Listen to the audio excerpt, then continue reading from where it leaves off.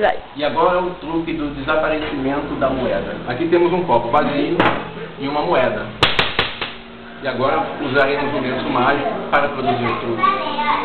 Estão vendo? Tô vendo. Um, dois, três. Onde está a moeda? A moeda desapareceu. Pode verificar. Não temos moeda, o copo está vazio. E agora vamos fazer a moeda reaparecer. Um lenço mágico novamente. Fazemos as palavras mágicas e, atenção, aqui está a moeda e aqui está o copo vazio.